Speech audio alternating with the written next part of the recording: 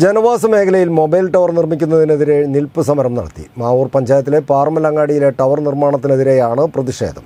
Mobile tower വിരുദ്ധ action കൗൺസിലിന്റെ നേതൃത്വത്തിൽ നടന്ന സമരം ഗ്രാമപഞ്ചായത്ത് പ്രസിഡന്റ് കെ സി വാസന്തി ഉദ്ഘാടനം ചെയ്തു. മാവൂർ ഗ്രാമപഞ്ചായത്തിലെ പാറമലങ്ങാടിയിൽ പീഡിക കെട്ടിടത്തിന് മുകളിൽ ജനവാസ മേഖലയിൽ മൊബൈൽ ടവർ നിർമ്മിക്കുന്നതിനെതിരെയാണ് പാർമൽ മൊബൈൽ ടവർ വിരുദ്ധ ആക്ഷൻ കൗൺസിലിന്റെ നേതൃത്വത്തിൽ നിൽപ്പ് സമരം സംഘടിപ്പിച്ചത്. ജനവാസ മേഖലയിലെ മൊബൈൽ ടവർ നിർമ്മാണം ജനങ്ങൾക്ക് ആരോഗ്യ പ്രശ്നങ്ങൾ ഉൾപ്പെടെ ഉണ്ടാക്കുമെന്ന് സമരക്കാർ പറഞ്ഞു. ഗ്രാമപഞ്ചായത്ത് president K C Vasanthi Vijayan സമരം ഉദ്ഘാടനം ചെയ്തു.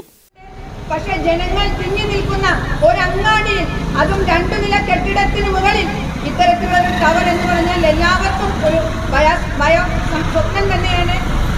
ഇത്തരത്തിലുള്ള ഒരു ടവർ വരുമ്പോൾ ജനങ്ങൾക്കുണ്ടാകുന്ന ആശങ്ക എന്ന് പറഞ്ഞാൽ നമുക്കറിയാം ഇന്ന് നമ്മളൊക്കെ എല്ലാവർക്കും പറയാൻ പറ്റാത്ത വിധം ഇന്ന് നമ്മൾ എല്ലാവരും ഓരോരോ ആരോഗ്യ പ്രശ്നങ്ങളുമായി മുന്നോട്ട് പോയിക്കൊണ്ടിരിക്കുകയാണ്. അപ്പോൾ ഈ സാഹചര്യത്തിൽ ഈ പ്രദേശത്തുള്ള ആളുകൾ വളരെയധികം ഭയാശങ്കരാണ്.